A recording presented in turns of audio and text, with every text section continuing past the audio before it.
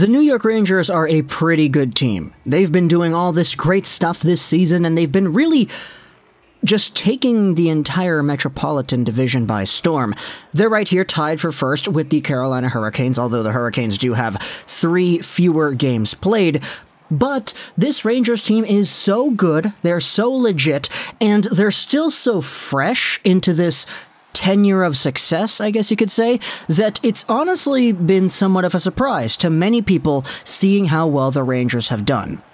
Which is why, even though they're technically one of the best teams in the NHL, and even though they're probably going to make the playoffs, the entire conversation going around as to whether or not the Rangers should be a buyer or a seller at the trade deadline, maybe they stay put, maybe they just run the course, who really knows, this conversation has been a little bit more difficult to identify when it comes to the Rangers and what they should be doing.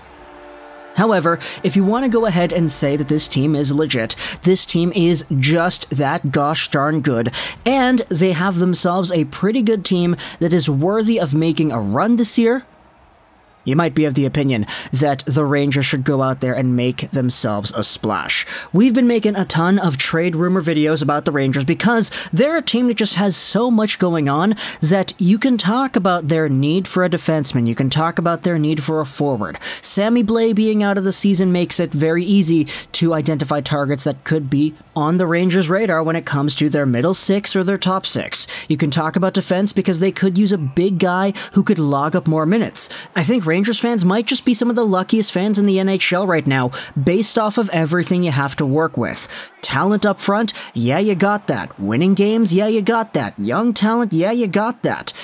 And so, when it comes to the potential of the Rangers being a buyer, Let's go over one of the ideas that was proposed on, I believe it was NHL Network. The article that we're sourcing here comes from the New York Post by Ethan Sears. The Rangers standing as serious Stanley Cup contender comes with a caveat.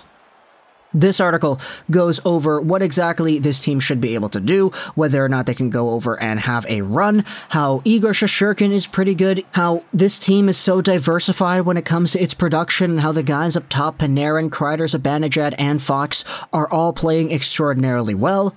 They go over a whole bunch of stuff, so how good Fox is, comparables to his game, what exactly the status of this team is, and how much of a statement they've been making with this season. How further along into the future could they still be a contender?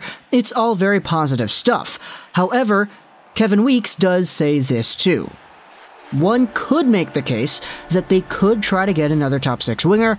Could they want someone like a Tyler Toffoli from Montreal? Tyler Toffoli could be of use, as could some blue line depth, but it's hard to nitpick the way the Rangers are playing right now. If this was how they were playing at the end of April, you would really like their chances. They're kicking on all cylinders. And so, I want to make this very clear that this video is not a conversation we're having out of a necessity for the Rangers. This is not something they need to do. But is this something they could do and something they could benefit from if they were going to do it? Yeah, I think that's a great way to put it. So let's go over the New York Rangers and Tyler Toffoli. Ravioli, ravioli, Tyler Toffoli himself. What's in the pocket, Oli? I got a lot of people who kind of contacted me about that. If you know where that's from, then hey, you're an absolute legend. But when it comes to the New York Rangers, this is a team that does have itself the option to go out there and do some pretty flexible things with their roster. They've got $4.8 million in cap space right now, and zero of the LTIR money used up. So this is pretty much just a regular team with no hocus pocus Harry Potter stuff going on under the salary cap hood right there.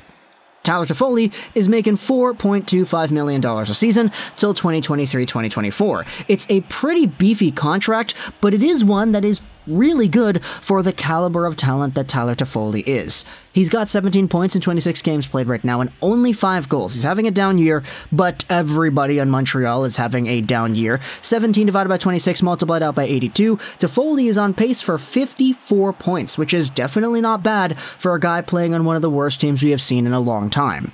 We've mentioned this in the past, but Tyler Toffoli and the contract that he has is kind of the entire reason he was on Montreal in the first place, because the Habs were one of the only teams that was willing to go that fourth year on a contract offer. All the other teams that were reportedly going after Toffoli in the offseason of 2020 were only offering the guy three years, and apparently Vancouver might have been one of them. So Toffoli getting that extra year, even though he is a little bit on the older side, he is 29 years old, turning 30 in April, there still is a good body of work here that says that Toffoli is a valuable presence in any team's middle or top six. I mean, the guy had 28 goals last year in 52 games played, on pace for like 40 something, if not almost 50. So, yeah, he was very good last year, even though it was a Canadian division, he still went out there and did his thing. And in the playoffs, it was a lot more of the same. So, for the New York Rangers, if you want to go out there and say that what they need is a trigger man, a guy in Tyler Toffoli who could honestly play a pretty good penalty kill game, but who is never going to really wow you with his skills on the puck. I've literally been saying the same thing since like 2020 in the bubble, but Tyler Toffoli is not the guy that you expect to go out there, take the puck in his own zone, skate through the neutral zone, deke out a guy or two, come in towards the goal, and send a beautiful cross crease pass to an open guy who scores. Tyler Toffoli is the trigger guy you send the puck to, who will usually score at a pretty nice angle. He's a very consistent goal scorer when he is at his best, and I would like to believe that this season in Montreal is more the exception than the rule. Now, the reason we're even going over this is because Tyler Toffoli's name has been brought up in several trade discussions, or not even discussions, but just kind of like ideas, suggestions, I think is the better word to say here, when it comes to what the Montreal Canadiens could do to really bolster their team into the future because let's be real here, Toffoli is not really the fastest guy in the world and he's not really getting any faster. So this is kind of a player that all of a sudden, based off of the direction this team is going down, Bergevin fired, Gorton hired, this team is really bad, we don't know what's going on in the next few years. Who knows if a Tyler Toffoli like player is going to be expendable? And if a New York Rangers team is going to go out there and try to get this guy, hey, they have the amount of cap space to do it. All it would take is whatever package the Canadiens could want. Now, what could that package be? I'm not really too sure. We've highlighted this before, but if it's a first round pick and a prospect, or a prospect and a, second round pick, or a B tier guy, or maybe a C tier guy, any of those it could be. It really depends on who you ask. I think the Rangers do have a significant amount of draft capital, really good prospect coverage, and nice guys in their system and the Hartford system that it would be a pretty attainable get without taking out a good chunk of the players on their roster already. If you want to go out there and project what a Rangers lineup could look like with Mr. Ravioli Ravioli, Tyler Toffoli himself in the lineup, I mean, top six, Kreider, Zibanejad, Kakko, Panarin, Strome, Barclay Goodrow is over here, they move Lafreniere back down. You could go back and say Tyler Toffoli go back to the right side. He's played right side for a good chunk of his career on the Vancouver Canucks. He was a right winger, but in Montreal, he did actually move to the left wing despite being a right-handed shot because they wanted that one-timer option on the left. And it worked out really well for him last season. This season of course everybody's kind of down in the dumps so i won't really comment on that. But if you wanted to go out there and say that tyler toffoli could be a right winger be my guest because that right wing spot was not really utilized properly by Alexis Lafreniere it was probably one of the more ineffective strategies they tried out, having Lafreniere on the right side rather than the left, which is why Lafreniere now being placed on the left wing on the third line with Chytil and Rooney is the way they're trying to go about things.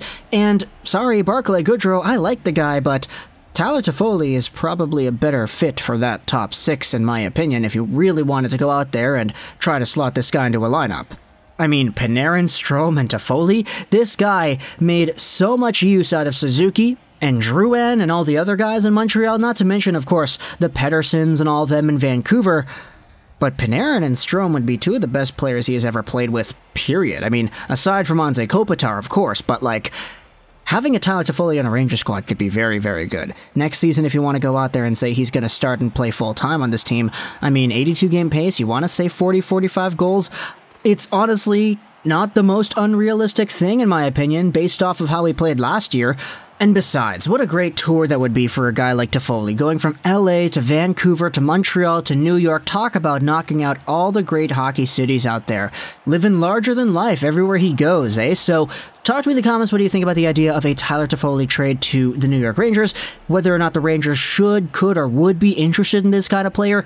And what exactly a trade package could look like. If you're a Montreal Canadiens fan, let me know in the comments what it is that you would want for a Tyler Toffoli like player. If you're a Rangers fan, what would you be willing to give up? Talk to me in the comments all your opinions. The link to the article we pulled from the New York Post piece will be in the description. I hope you enjoyed this video. Charles 99 and bye.